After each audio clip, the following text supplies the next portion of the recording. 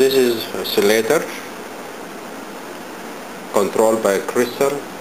The range is 3.5 gigahertz bipolar transistor multiplier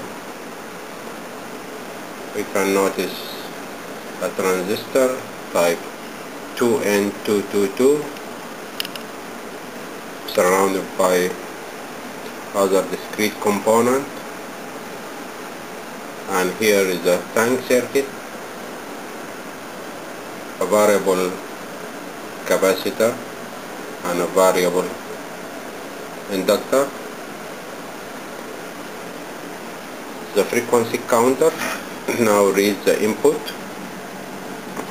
At 3.5 let's see what's happening. When we move the frequency counter from input to the tank circuit okay the frequency now is 7.1 megahertz. So clear. The oscillator frequency. Duplicate. By a tank circuit. In the bipolar transistor multiplier circuit. Thank you.